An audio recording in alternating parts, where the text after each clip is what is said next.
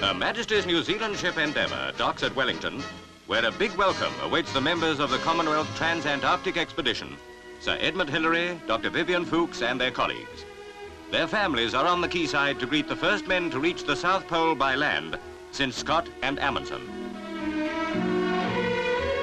Mrs. Fuchs and Lady Hillary wait side by side, and their husbands are the first down the gangplank. This is really a triple welcome. New Zealand is greeting its own party, so brilliantly led by Sir Edmund Hillary, conqueror of Everest, the United Kingdom party, whose courageous journey under Dr. soon-to-be Sir Vivian Fuchs across the entire width of the Antarctic continent held the world spellbound, and the company of Endeavour, who have done a tremendous amount of invaluable scientific work on their own account, complementing that of Fuchs and his team, and Hillary and the New Zealanders.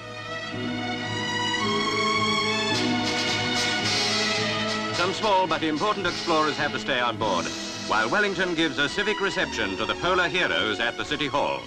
The Mayor of Wellington, Mr. Frank J. Kitts MP, presiding. The city's welcome is of the kind usually reserved for royal tours. For New Zealand feels the double honour of having contributed to the expedition in men and money. Wellington citizens alone donating £12,000 in one week, and of being the first country to welcome back the men who achieved this historic triumph.